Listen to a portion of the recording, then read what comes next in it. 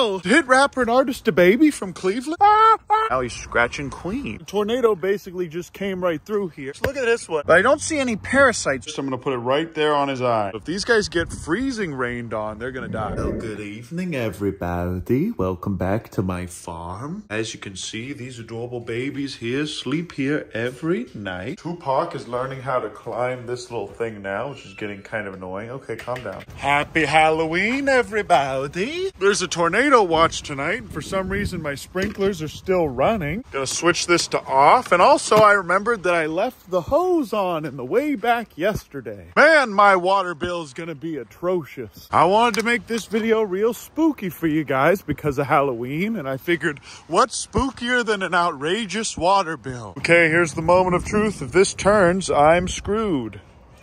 Oh, whoa, is that hit rapper and artist DaBaby? The good thing is all the grass is starting to grow back here. Whoa, Mr. DaBaby, I'm such a big fan. Hit rapper and artist DaBaby from Cleveland? What are you doing here on my farm in the middle of a tornado, sir? How are you doing tonight? This is an unsafe place to be, DaBaby. This thing could fall over at any minute. Well, he knows to stay right there. That's actually kind of smart. Even if this thing fell down, he would be safe if he just crouched down. Look at this little man just standing here by these picnic tables. I love him. Okay, let's go check on the other animals, especially Kanye, who I left in that backfield with the hose running. Probably drowning right now. Oh, I sure hope Kanye's alive. Actually, I'll walk this way. Wow, the baby's surprisingly dry for being over here. I guess these things are pretty good at keeping the rain off. Oh, goodbye, baby. They're to be putting the new building on here real soon, you guys. I'm so excited. Man, this entire field is just soaked and the ducks are freaking out. Okay, first I'm to turn on these lights so you guys can see. Good morning, children. Good morning. Okay, let's go ahead and turn on this light here. Okay, oop, little fly there. Okay, now I can see everything over here. Wow. Close that up so no water gets in. Okay, Kevin's over there. He seems to be fine. The hose was running right there, and thankfully we have this pond right here to take a lot of that water. But man, is this ground soggy. Good heavens. Kanye, how are you, little man? The inclement weather has passed, so we aren't really in any impending danger for a tornado anymore. But I basically flooded this entire field. But you guys are probably loving this, huh? All right, children, calm down. Go ahead and eat your food. Look at this little piglet coming over. oh, this sure is a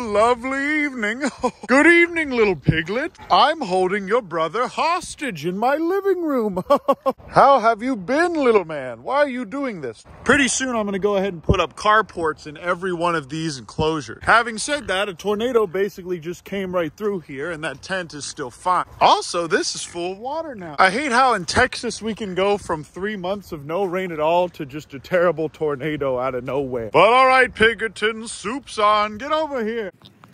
All right, son, come on. I'm going to move you into the other paddock. Look at them running right over there to the food. But look how happy these guys are after a big rainstorm. These piglets are starting to get kind of chubby now. Look how fat these little things are. Okay, Kanye, while you're enjoying that, I'm going to go ahead back inside. Look at these fat little piggies. What are you doing, soldier boy? Go be with the rest of your friends. While we don't have any shelter here in the ratite area, we do have these trees. The thing is, though, even if I had all kinds of carports or even a big barn right there in the corner, they wouldn't go in it. Rat tights, including ostriches, emus, and rhea, are notorious for staying outside even during the worst weather. There are actually plenty of times in the old videos where I had to stay up real late at night to get Karen and Kyle and Kevin all into the barn before a rainstorm. This time of year, rainstorms aren't a big deal at all. These things live in the plains and they get stormed on all the time. But in the winter, the only real problem is freezing rain. So if these guys get freezing rained on, they're gonna die. I have seen Karen get snowed on before, and she does do okay with that. It isn't great for their immune system, and if they already have a compromised immune system, they could die from that. They're gonna be dry tomorrow, and it's going back up to 80 tomorrow, so it's gonna be fine. The clappy blappies are aquatic, so they prefer to be outside during the rain, but I still keep an eye on them from my bedroom just in case. Look how puffed up they are. Tomorrow morning, I will bring them inside. Got a little surprise for you guys for our Halloween special. But everyone's safe for now, so I'm gonna go ahead and go to bed. I also forgot to mention to you guys that I'm not rehoming these cats anytime soon because of what happens on Halloween. Apparently people like to do cringe things to black cats on Halloween. But I'm really excited to see what this all looks like tomorrow morning, so I'm gonna go ahead and snap and we'll wait till the morning. One, two, three. Okay, I fixed it. I actually cured the nighttime. Hello, Queen, my adorable little baby. What are you doing? Were you scared of that tornado, Queen? Did that scare you, adorable little baby boy? Let's go see what the damage is. All the grass is much greener. Looks like Queen's been chewing on my pillow in this. What is this? Where did you find this sweet potato? Why, I oughta. Ooh, fire truck. I'm like a fire truck driving 40 feet from my house, huh, guys? well, Gordon Quandale seem to be okay. They're just munching on all this grass. But I think that they've been eating this stuff to death. Look at the difference in the color between here and here. Wow. And I can just throw them a little bit of grass and cut some stuff for them. I'm to keep buying alfalfa and Timothy for them. But they're healthy and safe and alive. The mistletoe is still safe in my tree. And Kevin's approaching me at an alarmingly fast rate. Good day to you. Do you like it when I scratch you behind the ears like that, sir? Come here, sir. Give me a little kiss. oh, nothing like the smell of an adorable baby boy like Kevin. Don't be shy, Poggers. Get on over here. Oh, here he comes again. go ahead. Go ahead. See what happens, Kevin. Oh, here he comes. What's he going to do? What would he even do if he actually caught up to me? Oh, he would bite. okay, that's gonna be a little bit of a bleeder. Hello, everyone. Are you ready for dinner? Back off, Kevin. You get yours last. Also, you have an infinite amount of grass to eat over here. I definitely think I should get a longer trough for these guys because now they're a little too big to eat out of this one little. Done playing with that, buddy? Well, it's gonna be time to get some more food soon. I decided I'm finally gonna be tearing down all of these fences here because we just don't need them anymore. We already have fencing here. So this is gonna be nice and wide open pretty soon. Around this time last year, my brother and I built this fencing by ourselves, as you can see from the shoddy craftsmanship. Hello, Kanye. Oh, it does my heart good to see all these baby boys in one spot. And the grass is finally starting to grow back here. Look how green it's turning. That's quite a step up from brown and black. Wow, look at all that water we got. I won't have to water the pigs for a while. And here comes the baby. Come over here, son. Shake my hand. Shake my hand. Oh, don't be distracted by this cringe white dog, sir. Shake my hand. Thank you. The baby also survived the tornado. He did an amazing job by taking cover over in the corner. He's my adorable little handsome baby boy. Give me a little kiss on the cheek, the baby. Come on. All these guys line up here to get fed. I like to think that when he hugs me like this, it's a genuine hug and not him trying to fight me. I also think that the baby might be the one that's picking off the fur from the back of this boy's butt. But I don't see any parasites when I look really closely here. Why do you guys think Kanye is losing some of his fur? Is he just shedding? He's missing it in a lot of little spots like this. I'll reach out to the vet and find out, but I don't think it's anything bad like mange or anything like that. Oh, but it sure is a lovely early evening. Oh, he's scratching his belly too. What's going on there? Oh, and now he's scratching Queen. He's giving her a little scratch. There's a chance that this guy might have some fleas. Let me take a close look at you, baby. Stop that, sir. Let me get a real close look at you. Stop it. Stop. Stop that. Oh, wow. Oh, so strong. That was the first time DaBaby ever wrapped his arms around my neck. Oh, ah, ah, ah, ah, ah, ah, ah. ah.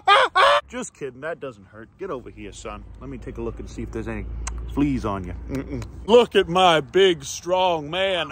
Oh, look at his belly. What do you see out there, Poggers? Yeah, I think we might have some fleas here on this farm. I'll go ahead and get some flea treatment tonight from Tractor Supply, along with a lot of other supplies I need. Ooh, other than that, everything else seems to be doing really well here. These animals all get fleas in the wild. But thankfully, we have the technology and chemicals to get rid of them. All right, the baby. Now, if you would please, I need to feed the rest of these ducks. Don't mind if I do there.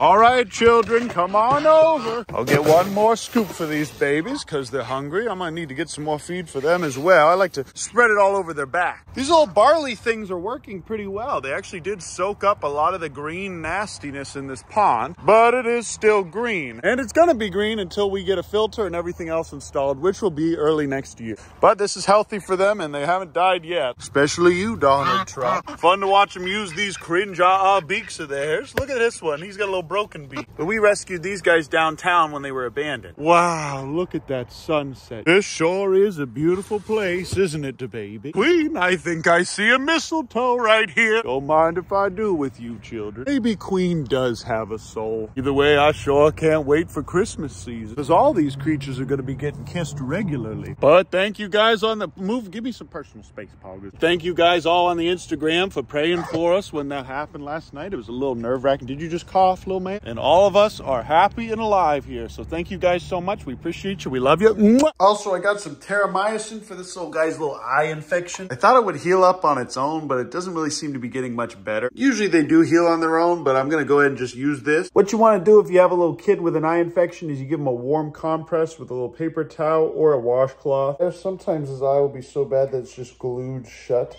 Okay, after that, I want to go ahead and get a good look at his eye. You see how it's really kind of closed there? It's an ophthalmic antibiotic that works really well and should work overnight. We are going to put it directly on his eyeball. It's going to look painful and awkward. It doesn't hurt him. It's just a little awkward. Best to put him in a little kitten burrito first. I'm going to put it right there on his eye. Okay, after you get that in there, you just want to massage it in the eye very, very gently. And just like that, he's good as new. And he's going right back to his kibble. And I'll keep giving him this every day with a warm compress until he gets better. But from all of us here at the Urban Rescue Ranch, I love you. I appreciate you. Thanks so much for watching my videos. And we'll see you in the next video. Oh, almost forgot to tell.